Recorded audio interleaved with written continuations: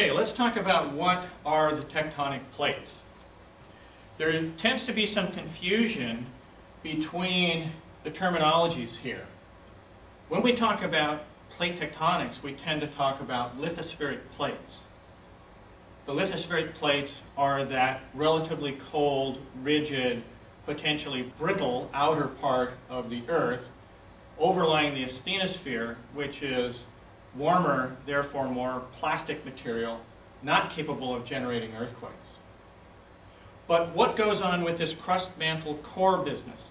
Those are chemical layerings. The terminology is crust mantle core. Those are different chemical layers of the Earth. So the lithosphere, it turns out that cold, brittle plate that moves in unison has two parts to it. The upper part of the lithosphere is the crust. So if we have an oceanic lithospheric plate, which let's say is about 100 to 150 kilometers thick, its very upper part, about 6 to 8 kilometers of it, is oceanic crust. The majority of an oceanic lithospheric plate is made out of the upper part of the mantle.